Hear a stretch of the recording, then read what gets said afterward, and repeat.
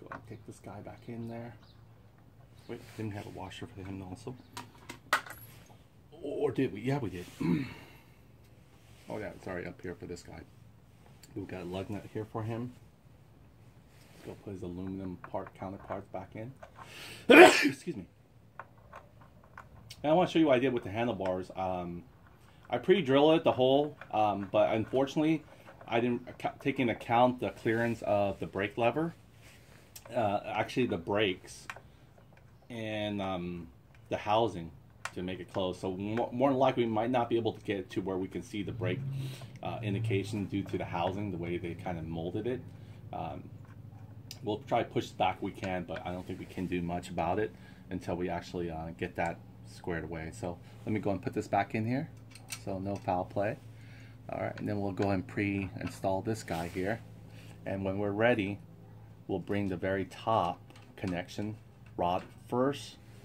And then once this is ready to swing over, we can swing over to close it. I know it'll let us close it. Okay, so again, going back to this one, tilt it perfectly.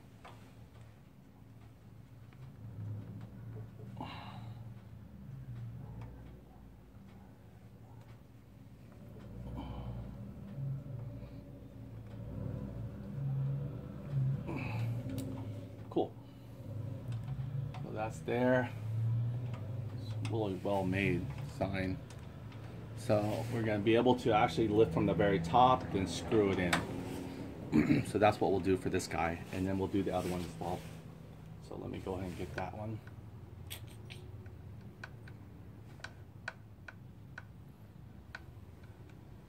Should preset the other one as well, but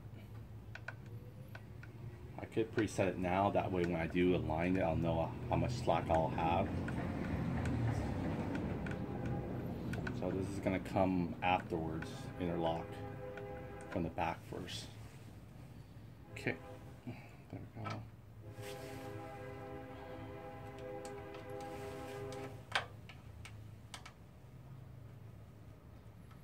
Same thing with this one. Get to us perfectly position.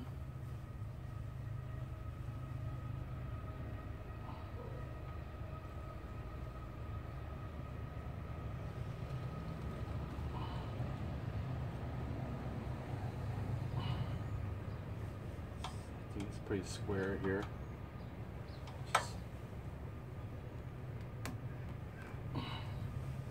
Okay, let's see.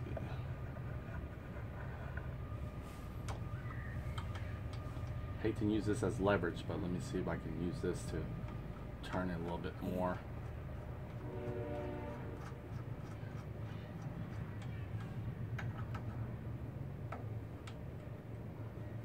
I want to make sure I screw it all the way in though. So I want to really align this straight. You can see here it's just off by a little bit right here. See there? And for me, that uh, kind of I kind of like things straight. So I'm going to try and twist this in here. I'm going to use this sort of like a leverage handle. I'm not sure if I should do this, but I'm going to be really careful. Okay.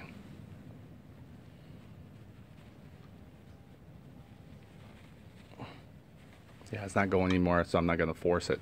All right, so that's good enough. I mean, so that's dyed in there. That locks into place. Still gives enough room to straighten things out or anything like that. Oh, this is interesting. Look, almost actually reached. Almost, I said. Maybe. Let's see. Oh, I'll be down. This side actually has no problem at all reaching.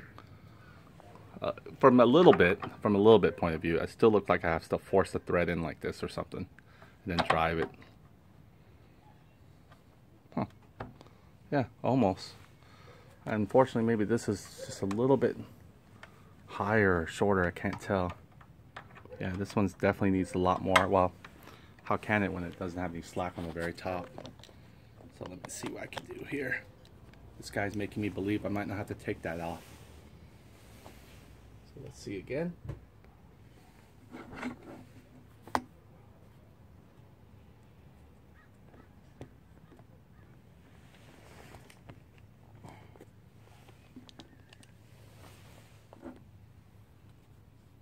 Uh, that's why we can appreciate engineers for what they do. They calculate everything. So let me go and try to put this all the way to the very top. Look, this guy didn't even have to go all the way to the very top and he's still almost flushed. he's flushed more from the bottom first. Maybe open idea. So we'll put this on the bottom. I'm not sure why, but maybe. Let me see.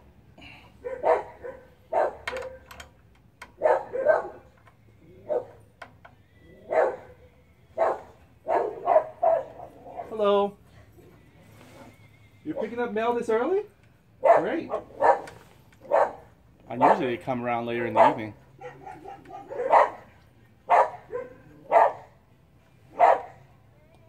Yeah, this guy's gonna be the same situation regardless if we go from top to bottom. I guess maybe it's just a certain amount. Um, you know, it's driven. So I'm surprised. Oh well, we got it though. So, oh, oh, oh, oh. Put a mark on it. Alright. So we can leave this on the top or we can leave this on the bottom. Doesn't really matter. So we can leave this here. On the very top. I prefer on the very top. So let me put this one back. And we'll get started on, we should show you what I do in the front there.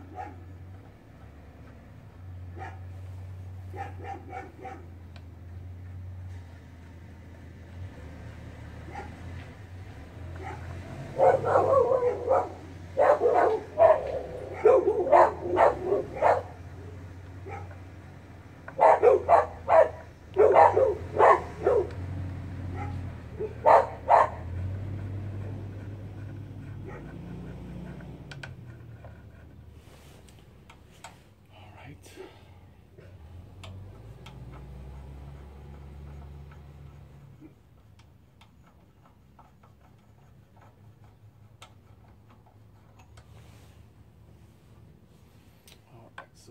Guy back up here.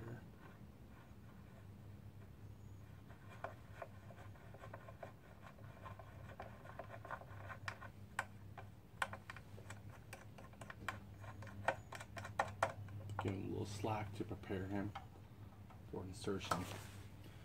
Alright, and then we can always move this back and up and down once we get it in position. This will probably be hidden from the tail light and everything else, so that wouldn't be a problem there. Um, think of now. It's just getting everything squared in.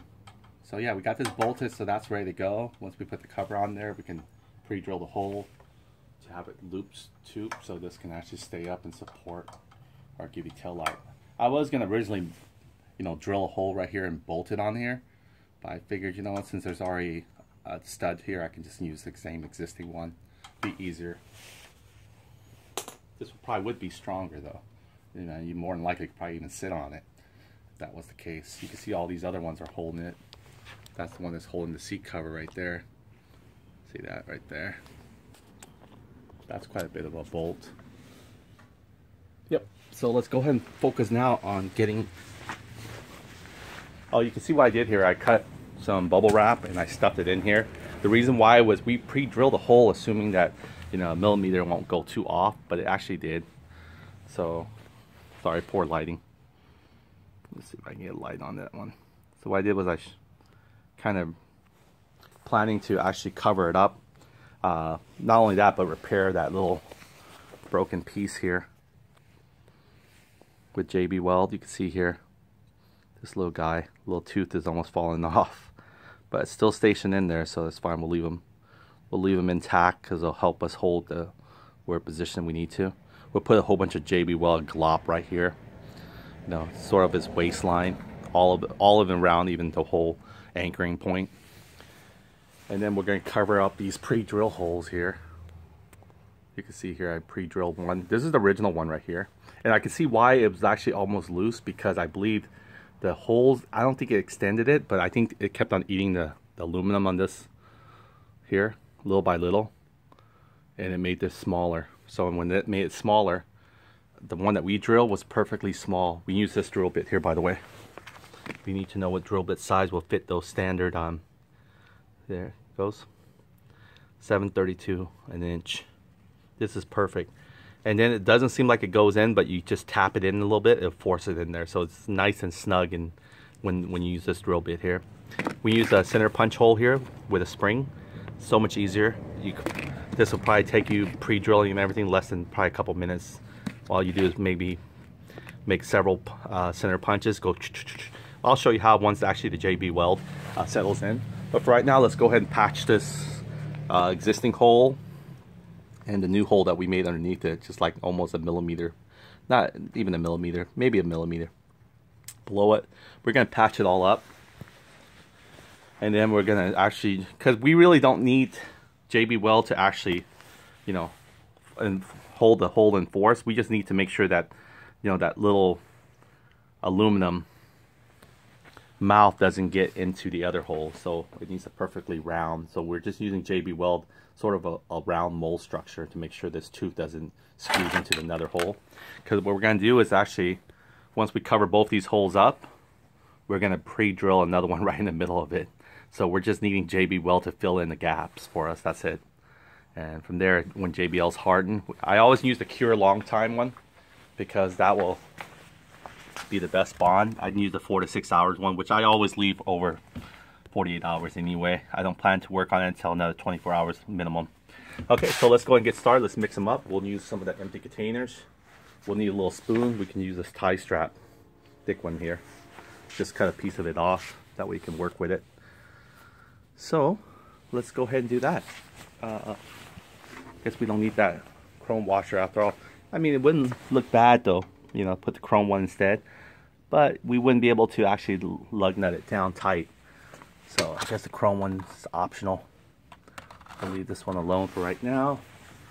Get the other chrome piece. We'll use this as empty container to fill in our JB Weld. And again, we're gonna need a spoon to mix it all in. If you guys ever messed with JB Weld before. Sort of like a, what do they call it? liquid soldering, uh, not liquid solder, liquid welding. Normally you can weld almost steel with JB Weld. Go and pre-mix this, get it ready to apply. We just need very little on this application. So, there we go. Set the camera here.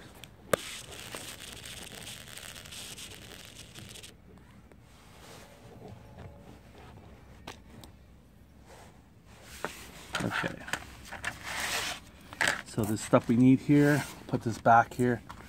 It's called a spacer, steel spacer, chrome plated, pretty cool looking. Very expensive too, by the way. I think these two are like almost close to 250 for three dollars. Okay, so now we're gonna need a piece of this guy here if we want to be able to use something to stir it all up. You gotta mix those two compounds together. As you can see the black and the red compound. There we go. Snap a little piece right there. Just a little something hard plastic. And you want to clean your surface. I cleaned the surface uh, earlier. I also sand it down. You want to get to bare metal as possible and then clean all the debris and dust off. So let's go ahead and apply some of this great compound here from JB Weld.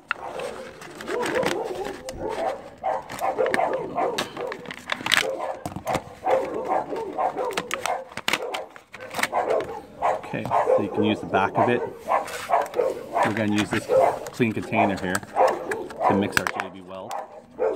You can use the inside here if you want to, or you can use on the outside, doesn't matter. It doesn't really take that much space, especially with applying a small dab. So I'm just going to use the outside here. Okay, I'm going to go ahead and apply this dab.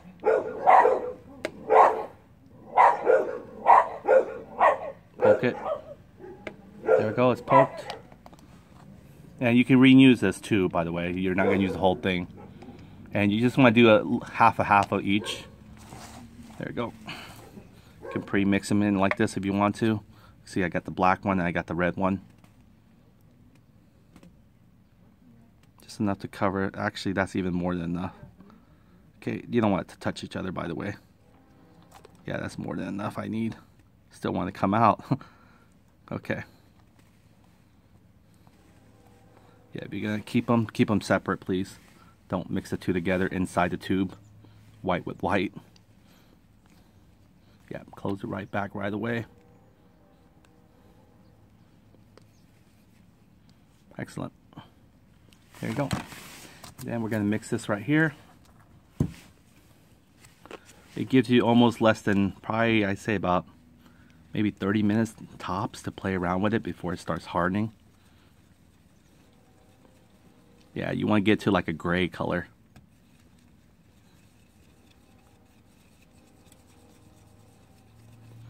Okay, we're done. That's all mixed here. Oh, smells. Not too bad. Doesn't have really much a... You can see why we use a disposable. A little clean containers, carton there. Okay, first of all, we're going to go work on... Uh, not so much our hole yet. We're going to work on our... That cover there that's has a problem. So let's bring this here. And try to position this where you guys can see what I'm doing as well.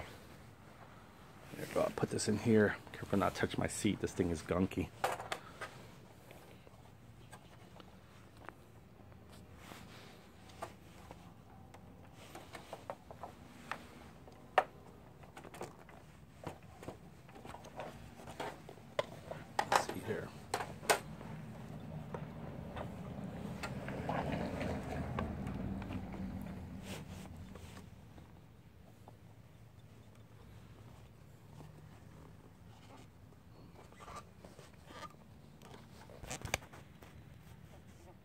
Okay, there we go. Alright, so when you get yourself comfortable, because you're going to be playing around with like molding a Play-Doh. And then you want to set this somewhere where it's steel. I mean, no, standing steel, not steel steel. Okay, so I got a little bit of this right here. A little too much there, actually. I don't want to drip anywhere. Okay, I'm going to go and ply. You can see here. So I get some lighting for you. Okay, so you can see that. See all the crud area. You want to actually get it where you can actually almost open it up for initially. I want to open that little tooth up a little bit. Open that cavity up. And you want to get into that cavity as much as you can without breaking it, of course. So you can see here I'm forcing it in there. This is a really easy JB Weld job because this area here, it doesn't really matter it has plenty of actually slack room. But this one, if you if you mess up, you can always sand it down to JB Weld, so it's not like it's permanently steel or something. You can sand it with some sandpaper. Okay, then I'm going to get into that little crut here too. That crut is no can do. There we go. And I want to just want to make sure you pack it in there now. You don't just like soldering. You want to make sure it gets into the into the crack You can see I'm forcing it. And you can do a pretty job once you get all that filled into the crack afterwards. So you can see there, my JB Weld job there, not too shabby. Sorry, lighten up for you. Wish I had better lighting for you. It's got gray on gray. But yeah, it, it'll build. You'll definitely get it to build. There we go.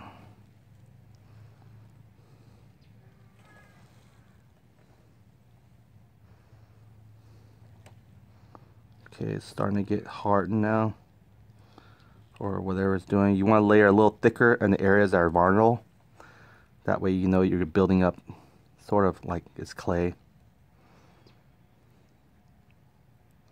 So you can see I'm trying to build up that corner here. Trying to create like almost like a hillside or a ramp because I want it just to when it hardens I want it to harden right in that area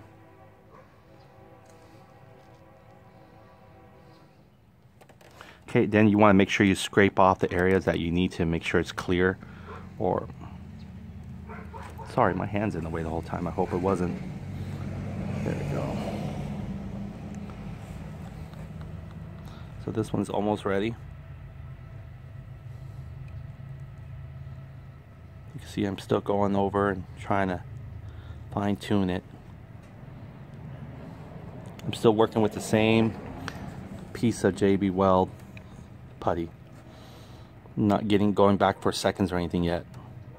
Probably won't need to. This should be enough for this piece here.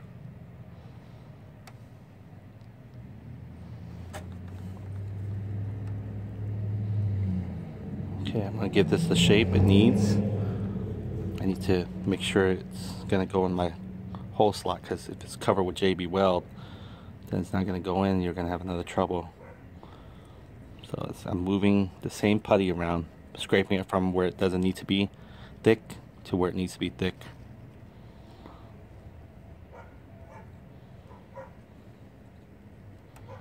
Looking good. Eventually I'll feel comfortable, I'll let it slide on its own. And then when you think you got perfect, I know you want to touch it some more and make it even more perfect. Just try to settle sometimes. Uh, because you'll end up actually creating a lot more work for yourself. So I'm just focusing on filling in the crut. Focusing on filling all the that little crack area. Again, this was pre-sand a little bit. I didn't get, I wasn't able to get into the sand part of the crack area, but it's pre-sand as far as I know of the areas that I need to be.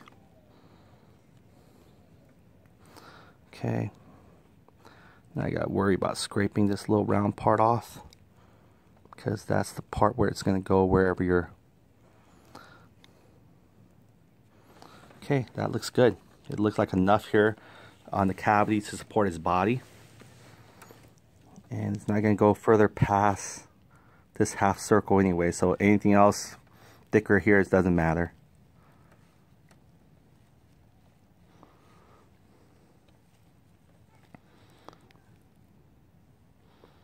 Once, once it gets hard, and it's going to be hard to work with. So you can see here I'm working it. Just like a surgeon, huh? Timing is everything. You got the patient's heartbeat on your hands. The same thing with this is going to dry. You do it too long. Take too much time trying to be perfect.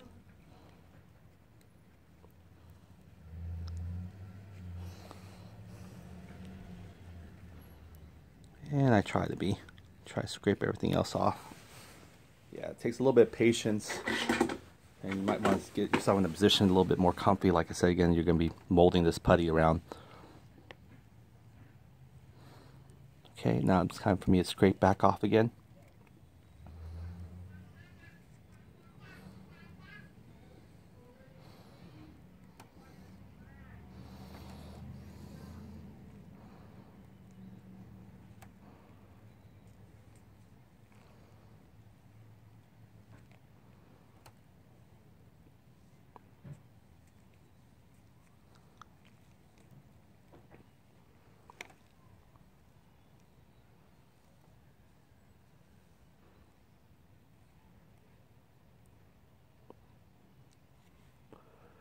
All right, there we go.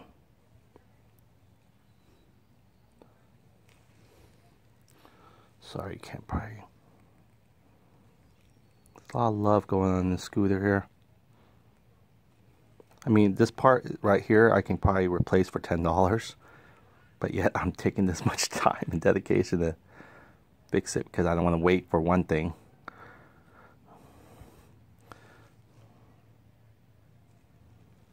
Alright, so this is it. We're leaving it alone. This is good. And then you can actually take your finger. JB Weld is not going to really kill your finger. And you can just kind of wipe off forcefully. You know, you can wipe your fingers right away back, wash it. That's how I do it.